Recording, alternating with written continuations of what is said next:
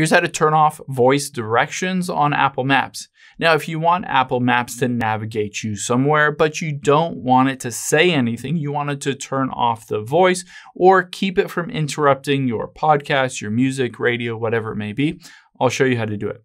So the first thing we're gonna do is hop into our settings here. Oh, I need to just go back here. And then we're gonna scroll down until we find maps. There it is, tap on maps. And then if we scroll down, we're gonna tap on spoken directions. Now, a couple things on here. You can set the very top volume of the voice. We can switch this to the softest volume. And then on all of these to pause it during spoken audio, aka podcasts or audiobooks, let's turn that off. Let's turn off wake device and turn off on the radio.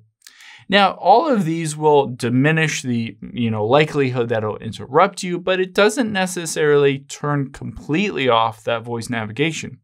We'll have to do that in Apple Maps itself. So let's open it up, and I'm just going to navigate to a random location here in New York area, and let's once this loads up, let's hit go, and I'll show you how to mute it. So let's hit go.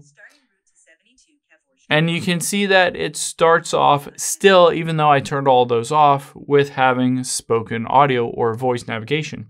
But you can see that little speaker icon. I can tap on it, and there are a couple different things I can do. One is I can do the little speaker with the exclamation point next to it. This is only alerts, but if you wanted to completely turn off tap on the speaker with the little line through it, and that will completely disable that voice automation or that navigation.